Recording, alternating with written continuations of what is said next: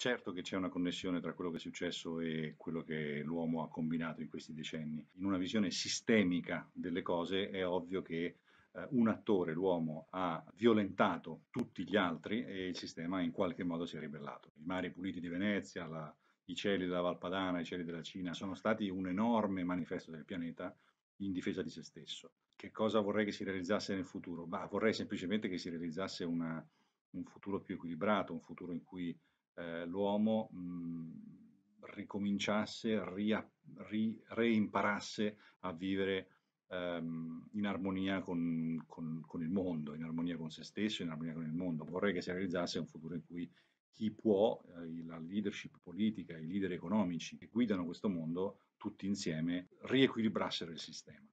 Il contributo quindi delle aziende è un contributo mh, proprio eh, molto umano, è leonardesco, cioè noi dovremmo rimettere il genio eh, che solamente l'uomo ha dimostrato di avere nella sua storia, nella storia del pianeta, al servizio del riequilibrio del sistema.